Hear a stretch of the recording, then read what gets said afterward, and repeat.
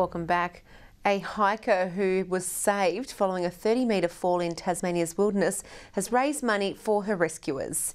Kerry Geard and her daughter Holly held a 24 hour spin class for the Westpac rescue helicopter.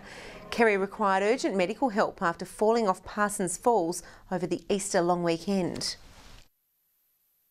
I don't remember the fall. I fell off the waterfall and woke up in hospital. That's all I remember. So yeah, I had some broken bones and a bit of a smashed in face, and other than that, they fixed me up and I'm all good now. So it's amazing. The event raised $2,542 for the service.